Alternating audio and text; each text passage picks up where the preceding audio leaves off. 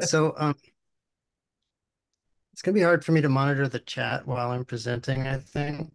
So I think people should feel free to speak up if there's something really confusing, confusing or interesting to mention. And we are at the bottom of the hour right now. Yeah, I think you can go ahead and get started. Thanks. Okay, well, great. Thank you, everybody.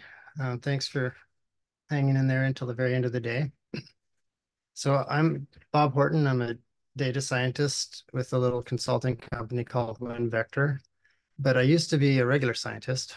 Uh, my, my PhD is in biomedical science and molecular biology. Um, and the topic today is um, well, both this technical concept of, of a concept vector for semantic search, and then the application area is going to be on um, open medical literature from PubMed Central and uh, metadata from PubMed.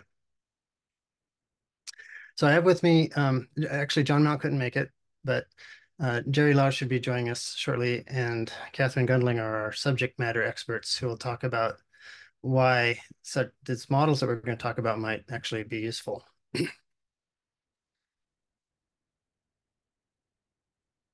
so I've got two kind of overview slides. One is the sort of technical concepts I want to cover. Um, and that breaks down into these four ideas. One is we really want to have some familiarity with what semantic embeddings are and what you use them for. So these are very popular especially I think now because when people do retrieval augmented generation, they're usually talking about um, finding things with semantic indexing, which all depends on these semantic embeddings. So basically what an embedding is, it's a deep learning model that's able to take some uh, passage of text and uh, represent it as a fixed length numeric vector.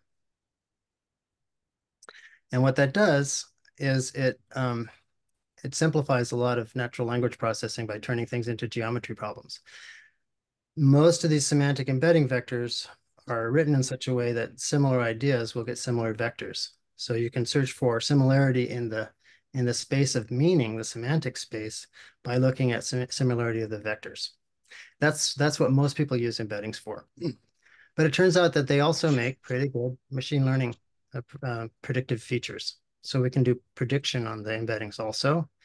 And those two ideas turn out to be related because when we take uh, logistic regression models or linear models, the oldest kind of machine learning models, and we give it the newest kind of features, the semantic embeddings, we get something interesting, which is the these models learn a coefficient for every element in that um, in that feature vector which means they learn exactly the same number of coefficients as there are dimensions in the vector.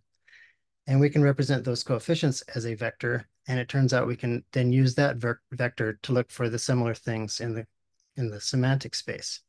Only, only the vector of coefficients from the model doesn't recognize just a single example, which is how people normally do semantic searches by example. It's recognizing a category of things that we trained a model to recognize. So that's why we're calling these concept vectors. And the other aspect of this is that we don't really have to use the, the model. All we need is the coefficients from the model. So we're really treating the model as data and we're reframing the idea of predictive scoring as a similarity search. So now it's a database thing. It's not, it's not, um, it's not a computational thing necessarily. And the really cool thing there is that this idea of similarity search is scalable because of all the fast approximate nearest neighbor algorithms that um, people are inventing and deploying these days. So we'll, we'll show how to do that, how to use those concept vectors for searching in a big database. um, another technical topic here is the idea of label mining. So um, we're going to be using open access uh, biomedical articles from PubMed Central, which are all very well structured, including um, having uh, section headings that were written by the authors. So the section headings are basically metadata telling about the topics of the following paragraphs. So we're going to try to use that as a way to find labels to find categories of paragraphs. and the other way we're going to try to find uh, labels is by uh, looking at the MeSH terms that were applied to articles. And then finally, the big purpose of all this is that we want to we want to see if we can learn models basically where the light is good on this really well annotated and structured PubMed central data, and then use those models possibly in other places. So this the sequence of things in the outline here. Um, I'm going to start with a little bit of introductory material talking about machine learning models and, and the PubMed data. And then we'll go through a mini demo because it's supposed to be a hands-on thing. And unfortunately, I can't give you, can't give everybody access to the database where we're running uh, the PG Vector stuff on. But we do have a mini demo that you can download from GitHub and run it on your own laptop. So we'll try to spend most of the time today on this mini demo. And then um, Jerry will come in and talk about this idea of uh, developing and refining section heading patterns that to basically engineer the labels to give us the models that we're looking for. I'll talk, give some examples of how these ideas scale up on the on the database backend, especially using this PG vector extension on Postgres. And then um, Katherine will talk about uh, some of these MeSH term predictors and how we can uh, assess them for which ones seem to be doing what we expect and which ones don't. Okay, so I'm going to be talking here for a few minutes, but while I'm doing this, everybody should go download the mini demo um, stuff. Now, what you have to do is go to github.com slash rmhorton slash PMC classifiers. And then once you get there, then the links will be available. So th this is that website. So github.com, rmhorton, PMC classifiers. and the mini demo stuff is in the mini demo directory. And there's two ways to download this. You can do it the hard way or you can do it the easy way. And the easy way is to click that link to the Google Drive and that'll give you a zip file. The hard way is to get all the files out of GitHub itself, which um, believe me, if the Google Drive thing works for you, do that, do it that way. So what that will do is, is download these, these uh, demo data files. So it's actually hard to put data on GitHub because they have pretty strict limits on how big a file can be. So I broke this data into five files that are each small enough to be hosted on GitHub. And these are all just RDS files, just serialized R data files, where the um, all the text has already been featureized. So they're they're pretty uh, they're pretty big. They're 20 megs a piece. And that's why you need to get started on this download right away. All right, so while everybody's downloading, I'm going to keep talking. Everybody's probably familiar with PubMed, the, the free database, basically access to um, Medline uh, that's run by the National Library of Medicine. Uh, one of the other as one of the, the projects they have at NLM is PubMed Central, which is not just an indexing of the existing literature, but an, an archive of freely available uh, open access articles. So that's the main data set that we're using is we downloaded, I think my, once I got in my database, it's pretty close to a terabyte of information from PubMed Central plus annotations from PubMed. I put the notice that no librarians were harmed because we're not, our goal is not really to um, put any librarians out of work. Our goal is to use these models that we train on this data, um, probably in other, uh, um, use transfer learning to, to use them in other circumstances. It's It'd be a pretty high bar to try to actually search PubMed better, so I don't want to get everybody's expectations up there. But hopefully we'll be able to come up with models that we find useful for other purposes. And we might find stuff in PubMed too. We're not against it. We just don't want to make that promise. Okay, this is, I promise this is the only three lines of Python code I'm going to show you. This is how I did this, those embeddings. So in, in those data sets that you're downloading, those embeddings came from this um, Python sentence transformer model. Um, I embeddings are kind of a moving target. So I haven't spent a lot of time trying to find the best possible embedding because uh, that's going to change from week to week. Um, a lot of people use the OpenAI embeddings that, or other web service um, based um, processes to get your embeddings. Um, and I think these ideas about embeddings should apply even if you don't, even if you don't use exactly the same embedding. So this is what the data looks like. Um, that we've once we've loaded it from PubMed Central and done the embeddings, we get these tables where every um, every row in this table is a paragraph, except for the first row is always the title of the, of the article, and then all the other rows are paragraphs in the article, and they all have these section headings. Uh, so, for example, here there are two paragraphs in the introduction, so both of these paragraphs have that same section heading introduction. You can see this this one is a, a medical article. And I wanted to show two of them because the second one is actually not a medical article. It, this is about detecting explosives. Right, so there's all kinds of stuff in PubMed Central that that's not just medical. The other thing that I want to point out here is that the reason it's called a section path instead of just a section heading is that you might have subsections. And, and when you do, I just concatenate the whole path down to that subsection. So here we have two paragraphs for this so the first subsection inside results and discussion, which is sensor characterization and solutions. So the two paragraphs there, and then the next paragraph after that is a different subsection. So that's why it's called a section path.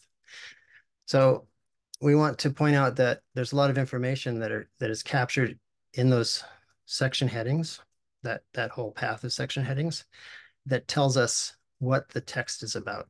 So that's it's almost like a kind of labeling that people have already done and we just need to polish it up a little bit to use it for machine learning.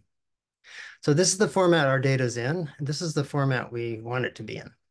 So this is just the, I'm sorry, I don't know why my images keep flashing off and on, but um, we want to have uh, what we call rectangular data, where every every row is a case or an example, and every column is something that we know about that example. And most of the columns here are blue because they're the features of the example. And the special one is the red one, which is the one we try to predict. So, so the blue ones are the predictive features and the red one is the label.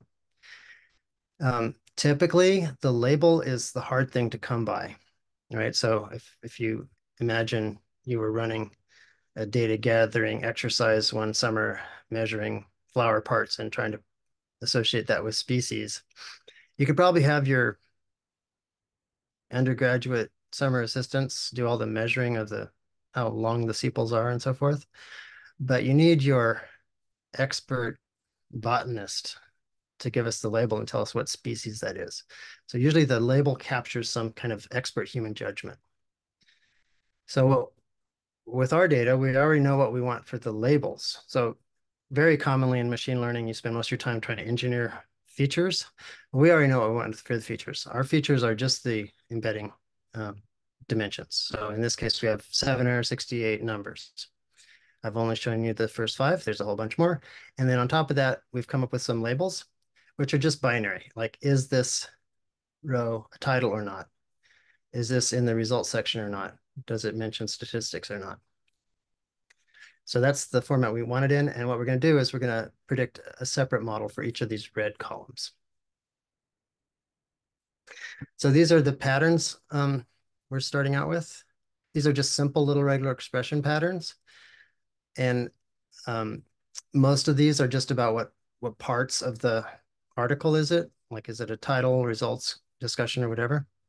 Um, but the one we're going to dive in deeper to is this one called adverse events, because we want a model that can just that can tell us whether a paragraph of text discusses um, unintended side effects of drugs. And those are typically labeled, or very commonly they're labeled in a um, part of the results called called adverse events or something like that. So in this case, we're just doing the simplest pattern for that. We're just looking for the word adverse in the section heading, and we'll see how well that works. And then, and then we'll iteratively improve that pattern, and see if we can make it better. All right, so does everybody have the mini demo downloaded? Anybody have it downloaded? I'm going to switch to the mini demo here, and I'm just going to give you some caveats. First of all, it occurs to me that if you have a really slow computer, it might be a really bad idea to just run this whole demo while you're trying to connect to Zoom on that same computer. Um, sorry, I just got a new laptop and I'm get kind of cocky about it. My laptop has 12 cores. And if yours doesn't, you're gonna have to change some things before you run this. Um, so you may have to install some of these libraries. and then um, these these are two functions that actually come from the PG Vector website because in R you have to be able to serialize and unserialize the vectors. Um, so they're serialized basically by just concatenating all the numbers into a string and unserialized by splitting that back out into numbers. uh, when you load those the data, and we're going to put three of those files into the training set and, and one for the test set.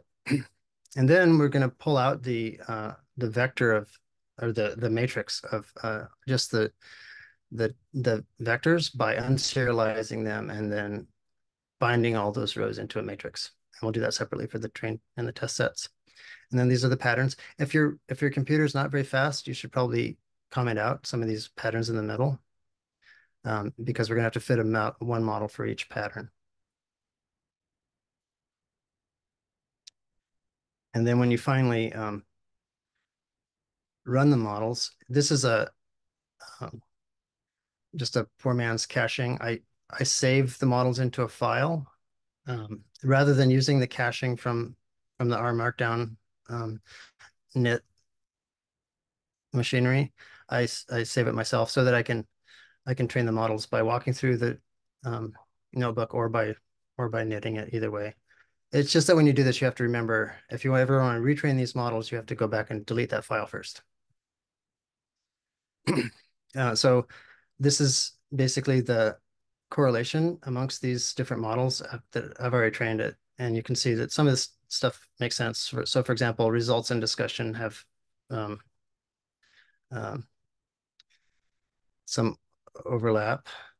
Right, let's see. So results, oh, okay. Adverse events are usually in the results. So, so adverse events actually has a high score for results. And then, um, see, discussion and introduction are have also pretty high correlation. So they're pretty similar kinds of ideas.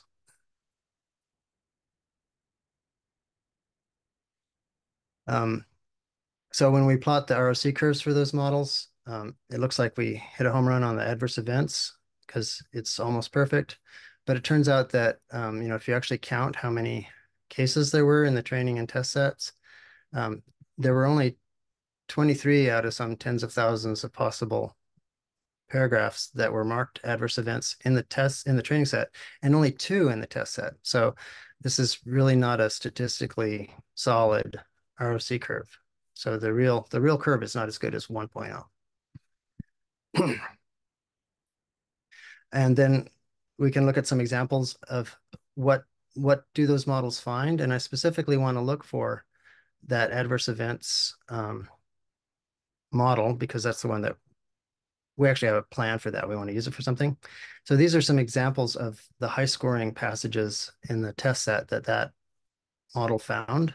And if you read these, um, you, you can tell that most of these really are about adverse events. Um, so in, this case, they're talking about hematologic toxicity, anemia, lymphopenia, neutropenia. So, but it's, so these are adverse events of some kind of drug trial, but it's not labeled. It notice it doesn't say adverse events in the section heading. It says safety. So that's like a synonym. There's a different way of saying it that we wouldn't have found out. We never would have found this paragraph if we had just been looking for things that talk about adverse events. But by training the model and then using the model to kind of expand the coverage, we're able to find these other things like safety. In fact, um, most of these other sections were not found by our um, uh, by our pattern. In fact, none of these top six were found by our pattern. Um, so one of them says study assessments. And clearly it's talking about adverse events because it says adverse events were graded for severity according to these criteria, right? So, so it is, the model was correct. This is an adverse events related paragraph, but the label would not have found it on its own.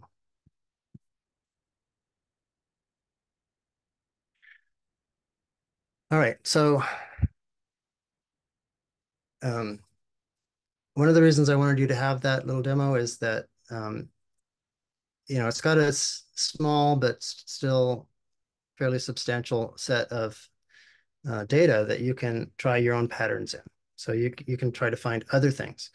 If you think about the ones we've found, um, we have a model that can, to some degree, tell the difference between results and discussion. So we often have to, um, like if we're thinking about trying to summarize scientific data or summarize a, a study, we want to probably pay attention to whether you're pulling things from the paper about that study that were actually learned in that study or whether you're finding things where they're talking about somebody else's work right? So that that ability to distinguish the results section of a paper from the discussion section of the paper might be really useful there. So that's a that's a very different idea to distinguish results from discussion than to, to say to find adverse events versus um, uh, maybe sections on other things like like what what kind of patients were chosen for a study. And and you can imagine training models for many many different things like that just by finding appropriate patterns in the in the section headings.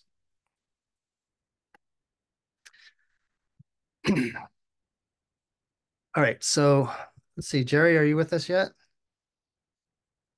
yeah i'm, I'm here okay you want to uh, take over and talk about um, these um, engineering the labels for finding the adverse events uh, model? Yeah, of course. Yeah. So, um, oh, Bob, you could have kept the, the screen up. Uh, I was just going to use yours. Oh, okay. I'll do it again. All right, perfect. So, hi everyone. Um, thank you, Bob, for the introduction from before. So, uh, my name is Jerry Lau. I am a trained uh, pharmacist by training, and I am with the phactMI Group. Uh, essentially, just a brief background. Uh, phactMI is an industry group uh, composed of mul a multitude of pharmaceutical companies. Think Pfizer, uh, Eli Lilly, etc. And basically, uh, we are composed of specific medical information departments within those organizations and we all collaborate together in terms of creating best practices and advancing the field of medical information. And so uh, bob next slide.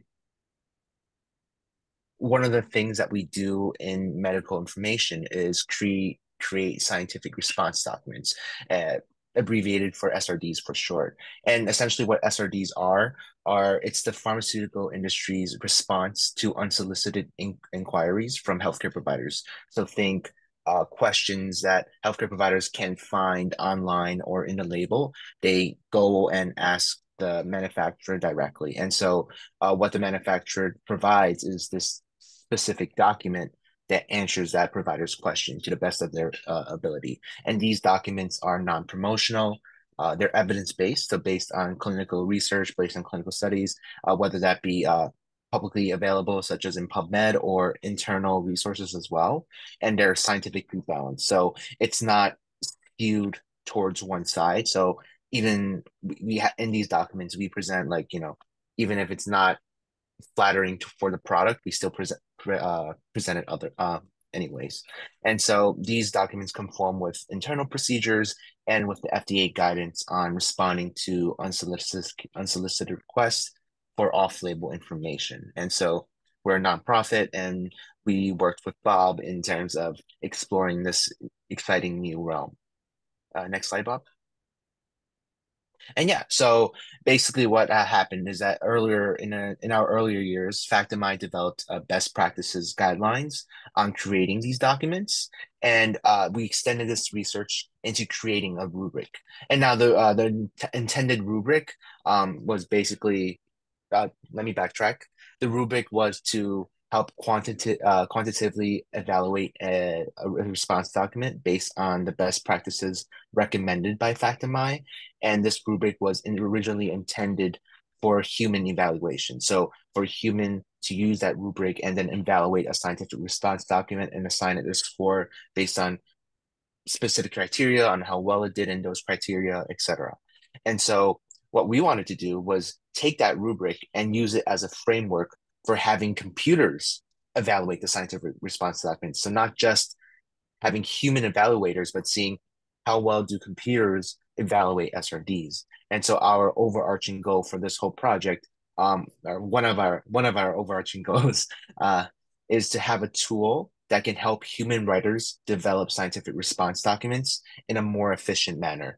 And so recently, phactMI did a survey uh, on um, from a multitude of organizations, uh, and a big thing, and I just I know it's not on the slide, but I just wanted to highlight it, is that people were really struggling, uh, not struggling, but a very big time commitment was used to, you know, look through a clinical study, find the pertinent information, and then being able to paraphrase and synthesize that into the SRD.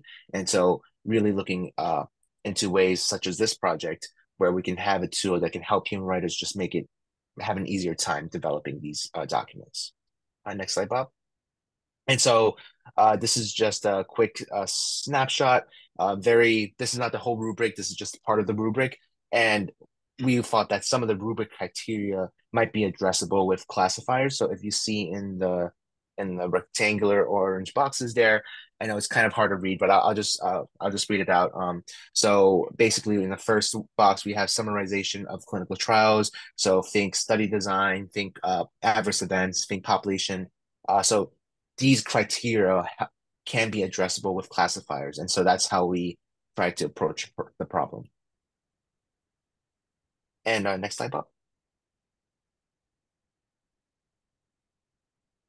And so uh, I'll hand it over to Bob to talk about more about the performance of these models. So remember, we were we were looking for patterns in the section headings to see if we can capture just the sections that are talking about what we're looking for and not other things. And here we've um, basically tried a bunch of different patterns so remember in our first pass through this, we found some other things that might be synonyms for adverse events like safety. And we also found um, other um, documents that had this kind of material under tolerability or, or, or even toxicity. So we want to find out if there's some combination of those things that will give us a better model. So in this case, um, because it's a problem we've been working on for some time. We already had a test set where we got some of our subject matter experts to hand label a bunch of um, sentences or paragraphs for us. So we, we basically know what the answer is. And that way we're able to try these models on this, um, this standard test set and we can compare the models to each other. So one thing I so these models are actually trained on a much bigger data set than, than what the mini demo uses.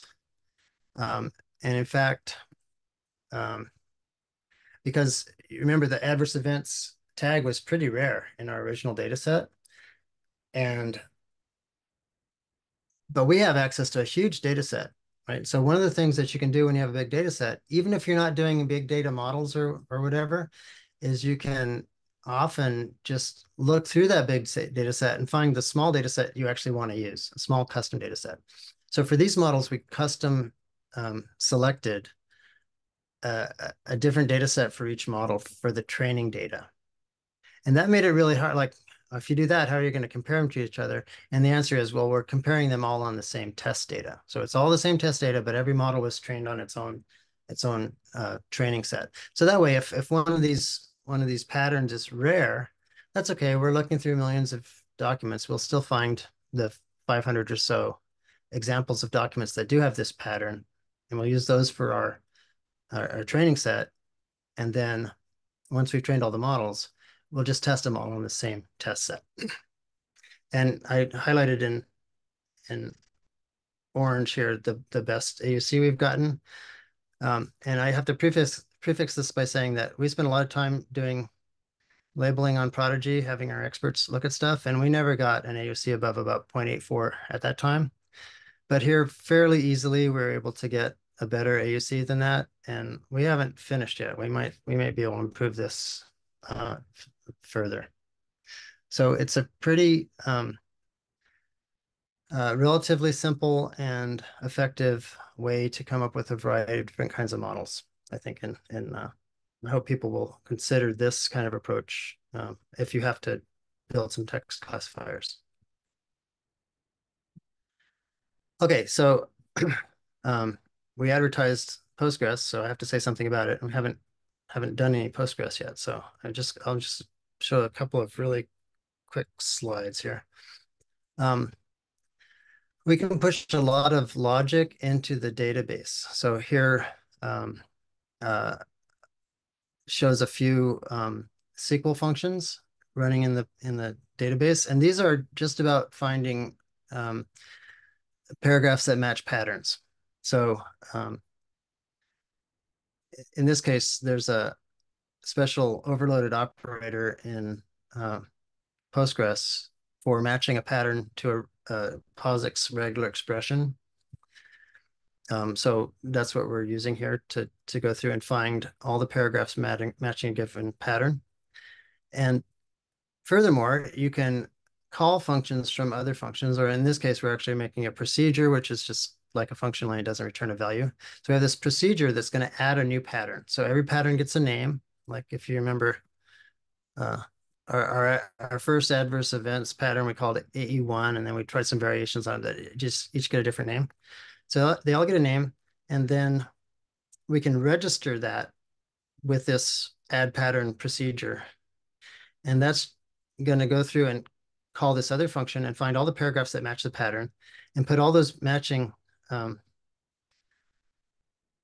uh, results into a table. So it's going to take the PubMed ID and the paragraph number, which are the two keys you need to identify any given paragraph, and then the pattern name. And we already know the pattern because the pattern name is goes in a different table into this pattern table. So that's all we need to know where any given pattern is. So we know that in this in this article, on this paragraph number, then this pattern name was found. Um, and then so so we're keeping the pattern paragraph. We're also keeping another table where we're saying which articles match that pattern. Uh, so it's a little shorter table. It just says that some paragraph within this article match the pattern. And then uh, we keep um, the, the pattern itself. And all of that is managed by, by this function. That And then we just can call the function from R. Um, so now we have this whole um, collection of patterns and we just call that procedure to add the pattern for every pattern and uh, it will get the database server to do all the work. Um, So this is a function to get those. I told you there were um, custom data sets for every pattern, and, and this is how that does that. We, we pick a certain number of articles that match the pattern ID, then we get all the paragraphs from those articles and uh, join it with the embeddings and return a, a, data set that's ready to train a model on. Um, so just coming back to that idea that we, we, we compared all the different models that way. And I just need to show you a little bit of code that uses vectors. So um, remember the, the regular expression had this special tilde operator to compare a POSIX regular expression. Well, vectors have, um, uh, there's a family of different operators and you can read about it on the PG vector documentation on GitHub if, if you're interested. But the one with, that we're using is the inner product operator. And that's this uh, less than sign and a, and a a pound sign, and then greater than. That, that operator means takes the inner product of two vectors. So I have to apologize for naming all my vector columns vector, which is a little confusing because there's also a data type named vector. So sometimes when I say vector, I mean the column, and sometimes I mean the data type. Um, it does not confuse SQL, but it confuses humans. But but when we want to find the similarity between these two vectors, or, or actually the inner product, okay, one thing I didn't tell you is that all these vectors from this particular embedder are unit length. And when vectors are unit length, that means that the inner product is the same as the cosine similarity. So we're, we're computing the similarity between the embedding vector for a particular example and the embedding vector for one of these models. So here we've we've got this adverse events model number eight, AE8, and and we compute that similarity. So so we're gonna for every example, we're to compute its similarity to the adverse events model and then to the toxicity model. And the purpose here is that we want to find out if, um, uh, see if this will let us find examples where toxicity model finds stuff that does not look like adverse events. Because when we looked through a few examples, actually we were able, this is pretty clear that toxicity pattern finds all kinds of things that are not about um, adverse events. They might be studying cytotoxicity or something. And, and so this is just another way to kind of focus in on the differences between two models. So this plot just shows for 2000 different paragraphs, what is its score from one model versus another model. And then we're interested in looking at the ones where those models differ. So we just um, subtracted the two scores and found the ones that are, have the highest difference between the two um, things. And then we can look at those to try to find uh, examples where um, one tag might give us something we we don't want. And if and if if if we know that, then we can try to avoid it. We might, in this case, we just decided, decided not to use the toxicity um, tag at all or the toxicity pattern at all. Was, we, we were better off without it. Okay, so um, I did want to point out that um, this is all one way of finding labels. The other way is just to use the MeSH terms, the medical subject headings that are uh, already in the um, in PubMed, and we use those for labels. um, so this is just an example of how we can um, uh, search for uh, all right, we I, not shown here, right? Um, because I promised I would not show you any more Python. We trained like a thousand MeSH term models in Python. And then I put them in the database. So they're all in a table. um, and, and that table is called descriptor model data. So now we can go back and, and pick out a paragraph. And I just arbitrarily chose one um, article that, and the only criterion I applied here was that it had to have just a single paragraph for the abstract. And then I want to see which MeSH terms match this abstract the best, right? So we pick out, uh, write some SQL to um, pull up the paragraph based on this PubMed ID and the, and the and the paragraph number, and then also go into the embedding table and pull out the embedding for that same paragraph. And then we give that embedding here, and this is this is we're just manipulating some text to generate the SQL. So we're gonna we're gonna put the embedding, just the string version that um, serialized string version of the embedding vector. Uh, we're going to plug it into a SQL query. And we're going to use that comparison operator to compare it to the beta unit vector, which is that coefficient vector from one of these models. Or actually from, this is a, actually a column. We've got a thousand models in this table and every one of them has a beta unit vector. So we're going to compare this query vector to that whole column of beta unit vectors. And then we're going to um, order it by the ones that have the best score, which is which is this comparison between those things. And this is what it came out with. So this is the the paragraph talking about coastal structures and surf and and uh, basically the behavior of waves and mechanical stresses and stuff. And these are the top um, tags that it picked out. Number one was mechanical stress conservation of natural resources. Computer simulation, if you look here, it says numerical model. So it really was a computer simulation. So those first three, the highest scoring ones, really looked like they were appropriate MeSH terms for this abstract.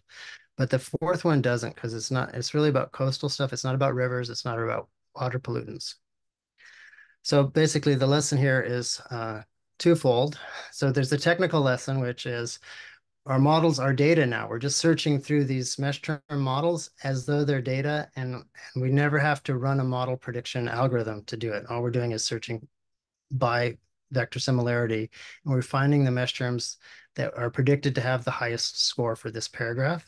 So we can technically do it. The real complication is these models aren't perfect. They often, they will make mistakes. And I think these are some examples that um, how how would we know just by looking at these scores? Because these scores are really close. The first three are actually probably correct, and the next two are not.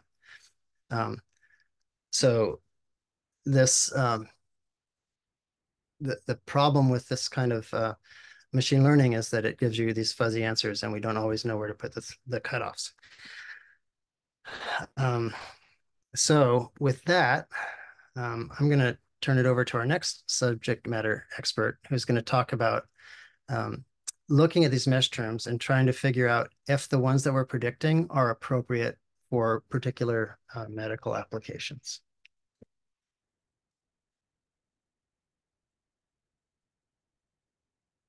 Hi, everyone.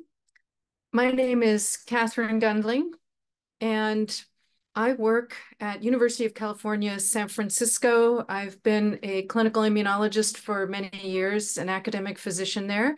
And most recently, I've taken a deep dive into a field we call now climate medicine and its association with really with exacerbation of the challenges we already have in patient care related to health equity. However, today I am what I have learned is a new label for myself called a SME, a subject matter expert, um, because I use PubMed and medical databases all the time, looking for information to both help me practice medicine as well as to research um, whatever topic I'm looking at and possibly uh, conducting a clinical trial or writing a paper with someone. So these databases are hugely important and any advance in helping us to make them better would just be a great advance in medicine. So what we're going to do today is um, take a look at some of these models and make some observations. So the first thing we'll do now is to look at one selected MeSH term added in 2022, and that's health inequities, which as I mentioned is a topic of interest to me. And this is defined as differences in health status and in the distribution of health resources between different population groups arising from the social conditions in which people are born, grow, live, work, and age. So it seems fairly um, straightforward. And you can just follow along with me, although you have access to this Excel file, but I will show you the relevant uh, data. So here in this um, column that looks most green, highlighted by the purple arrow, that's our model for health inequities. And you'll notice that it is really um, medium to dark green most of the way through. And that implies that the model is considering this to be a pretty good match. Looking at the data on the left, representing paragraphs of articles that it has chosen, these are just samples. I was very happy. If I were looking for health inequities, these really would have been great articles that would have been spot on. So this is a happy example of a success um, using this machine learning model. However, life isn't always so peachy keen. So let's take a look at just two more very briefly.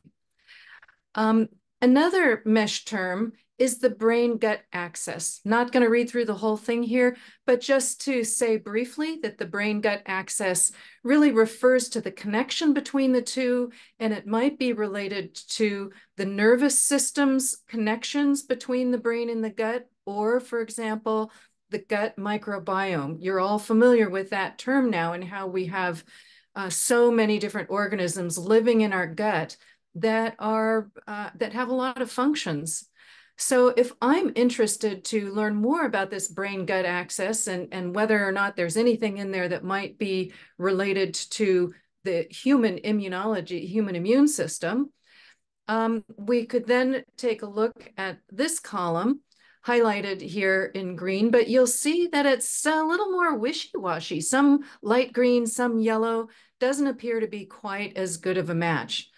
And when we take a closer look at the paragraphs for these articles, we see that many of them have only the term brain or the term gut, meaning maybe a partial match and therefore um, not really very good but there were a few dark greens, and it may be that where the combination of the term brain and gut is used, that this is where we will have a good match, and possibly we just need to use the very top scoring uh, very top scores to choose the articles that we might then take a look at as just one example of what may be happening here. And the third one, um, we'll look at the MeSH term mRNA vaccines. And you all uh, became familiar with this term during the COVID pandemic. These are vaccines formulated with recombinant mRNA. You may remember that term going back to biology, which are taken up by the host cells that translate the mRNA and present these proteins to the immune system um, as antigens, proteins, in a manner similar to that what, that would occur during natural infection. So this induces immune, important immune responses against these encoded antigens or proteins. So it, this sounds very basic sciencey to me. And so if I were trying to understand better how these mRNA vaccines were developed uh, some years before COVID hit, um, then I might take a look at this column, which is the mRNA vaccine column. Now you'll notice here that there's a lot of yellow, some yellow green, not much in the way of dark green. Well, why is that? When we looked at the paragraphs, we saw that almost all of what was given to us was about clinical trials and about the um, it, what happened was happening during the time of COVID. So it was as if this particular MeSH heading got overwhelmed by the pandemic, just like the rest of us. So very briefly, to summarize what these three models found in the articles, with health inequities, the high scores generally were on target for the inquiry, and I, as a physician looking at this, would have been very happy. Brain-gut axis, the high scores generally were about interactions between the gut and the central nervous system, which is good. The moderate scores were more often about one or the other and would not have been useful. And lastly, the mRNA vaccines overwhelmingly found articles about clinical trials or maybe measurement of responses to vaccines as opposed to the basic science that I might have been looking for. And this is an example of bias in training data that post-pandemic articles tagged with the mRNA vaccines are mostly clinical trials of COVID-19 vaccines even though the definition of the term is biochemical.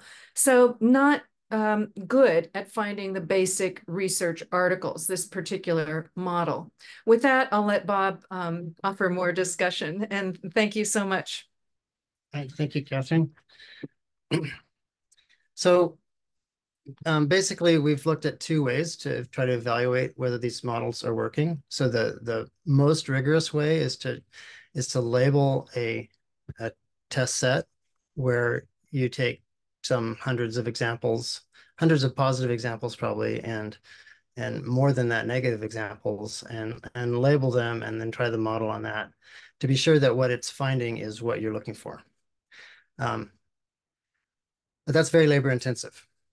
Um, so Katherine did a, uh, a more qualitative assessment, looking at a small number of mo models to try to find examples of where it looks like they're working and where it looks like they're failing and maybe and speculating or uh, really hypothesizing about some of the failure modes that we might be seeing.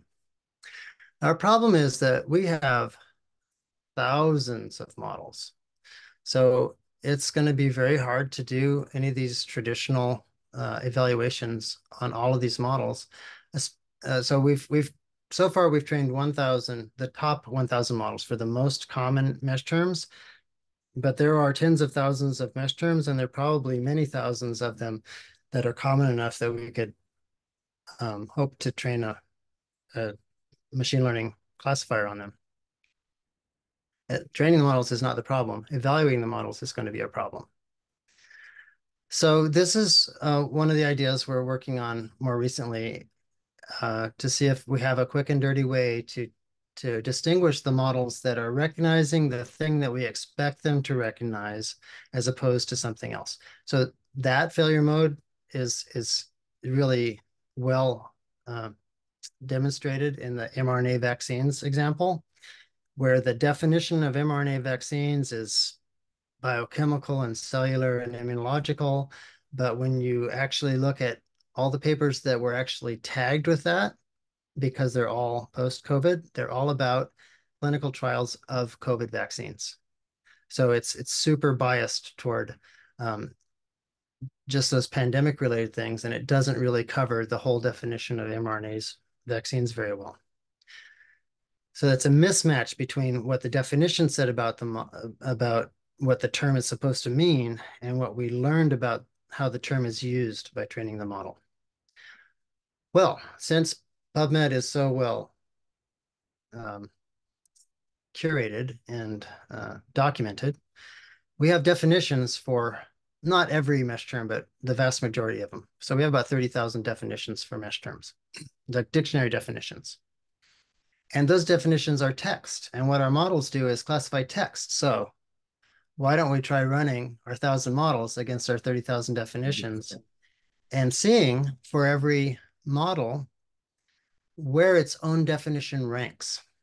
So I know that this is probably too small to see, but um, every row here is a model. So there are a thousand rows in this Excel file. If you want to see the real Excel file, it's on that GitHub site. And this is the this is the link to it. So there's a thousand rows. And then we could have had 30,000 columns, but I didn't do all 30,000. I just did the top 20. So for every model, we say, give me the top 20 matches in order for how well the the embedding of the definition matches the coefficient vector of the model. So this is really just a matrix multiplication between that matrix of 1000 by 768 model coefficients and the matrix of 768 by 30,000 definition embeddings. Just compute those inner products and, and then sort the rows. So I've highlighted in green where wherever a model finds its own definition. So you can see on this second row, this A549 cells, out of 30,000 definitions, its own definition was the highest scoring one. So this is a, a good match. And there's a couple others here, like the Aedes, which is that genus of mosquitoes. Um, that was also ranked in number one position. And the term aging ranked in number one. And then there's a lot more of them that rank high, even if it's not a number one. So you can see that there's a distinct kind of leftward weighting of the green boxes here. But then there's a few that like, yeah, we don't see its own, like not in the, not only in the top 20. I I need to add another column to this that says where does it rank? Like, so this would be a rank of one. And we, we can't tell from looking here because it's not in the top 20, but but we know, I mean, there's a number here for where three prime three prime untranslated regions where that model ranks its own definition. So we can characterize these by basically where its definition ranks. And I think that, you know, having a high rank for your own definition is decent evidence. It's also very easy to, it's very easy to compute. And it's probably a decent argument that this model is recognizing what we think it should recognize because it recognizes its own definition, which is like the definition of what it should recognize. Um, so I think the ones where they do score high are probably we can probably have some confidence uh, for with them, but the ones where they don't score high, we don't really know. And there's basically two main ways that can go wrong. Is maybe the definition just isn't very good. Um, like there's no definition for male in MeSH terms, so there's just no no definition for it. So for all we know, the model could be good. It's just the definition's not good. Or the other option is maybe the, the model's bad. Like we know that mRNA vaccine model is, is just overwhelmed by clinical trials of COVID-19 vaccines, and that's all it's going to find. It, it doesn't really find its own definition. All right, so that's kind of where we're um, where we are, and I've got a couple of slides that discuss where we might be going next, but I think I'd rather hear feedback if anybody has questions or comments or if you want to do some academic collaborations. So my one of my bucket list items is I want to write an academic paper about academic papers. I think we're well on the way here. Okay, let's see.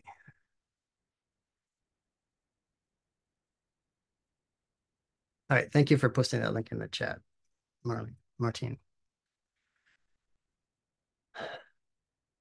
So any questions?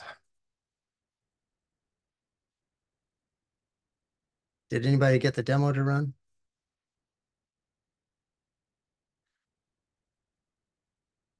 All right, so most of the links are in this um, the GitHub repo, and let me just show you. They might they might be hidden a little bit. So this is the GitHub repo, and the the link to that is somebody posted in the chat already.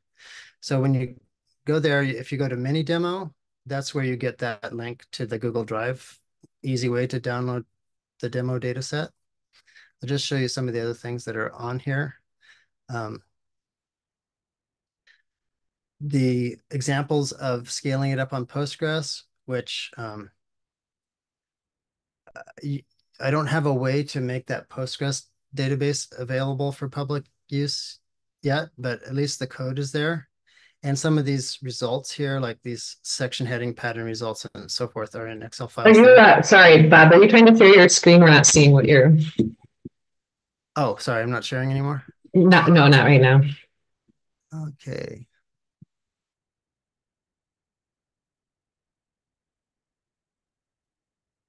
All right, so I just went to this PubMed classifiers um, GitHub repo. So that link is is the first thing posted in, in the chat.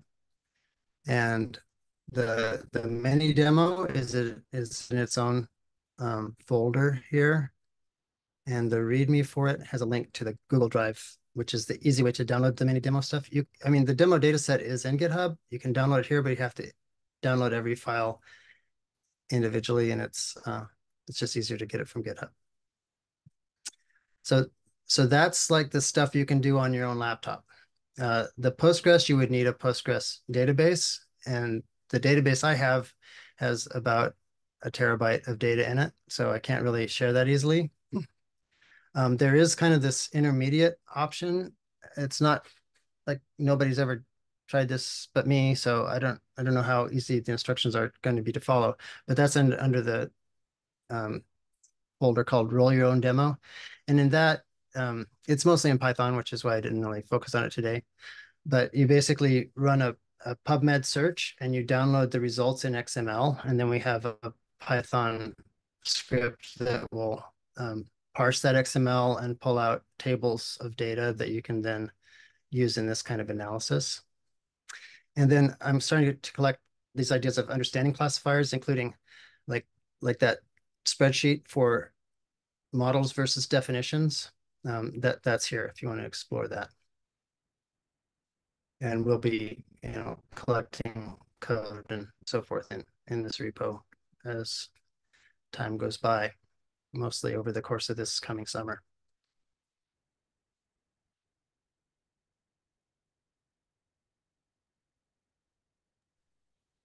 That was all very interesting. Thank you. Is that what you expected from the abstract? Um, kind of, I guess I didn't completely know what to expect. I, I hadn't thought about doing anything like this before, but but kind of, yeah.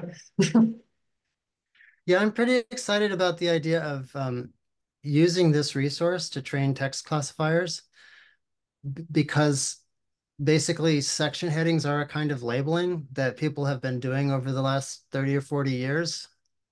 And we can just kind of repurpose that for machine learning with a little bit of uh, little bit of careful selection. I'll definitely want to read your academic paper about academic papers when it comes out. So, all right.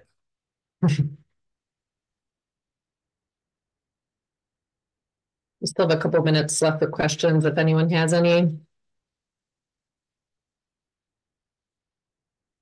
Anybody have any use cases for text bio biomedical text classification they're thinking about?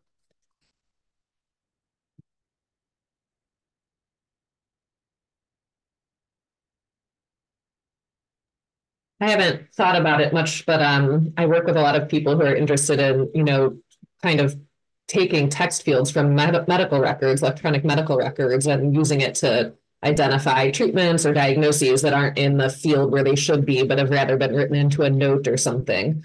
And and I I, I don't think this would work for that, but it's kind of a like similar idea.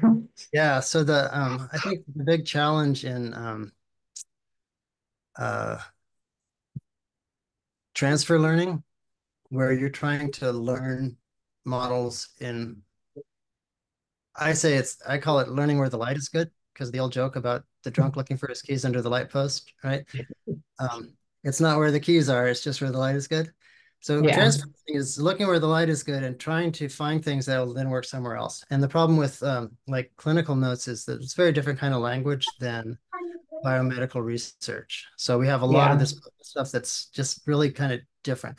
It's pretty similar actually to the scientific response documents and the the kind of off-label use stuff, which is all based on um, biomedical research anyway. So it's not that big of a transfer in that use case, but to take it into clinical notes would be a huge transfer.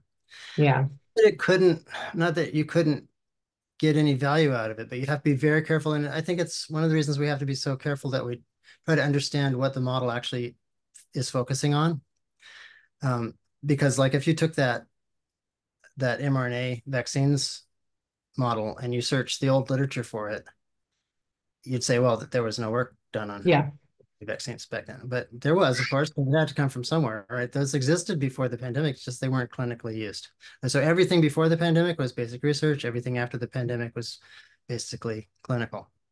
that makes sense. Yeah, yeah. So you have to have a good model. Yeah, but if you know what the model uses, I mean, I think one of our little toy problems is going to be, can we train a model on the post-pandemic data that will find the basic science stuff in the pre pre-pandemic articles? It's probably possible, but it's going to take some engineering. We'll have to like do something like, um, well, we know it's being distracted by all these clinical studies, so let's filter those out, right?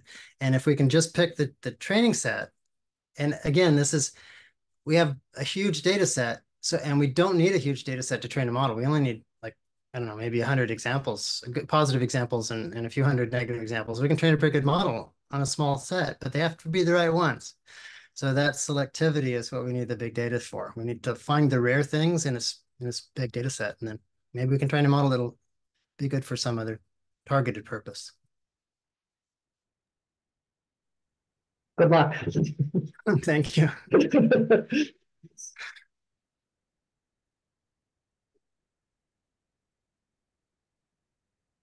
All right. Well, we're two minutes past the bottom of the hour now.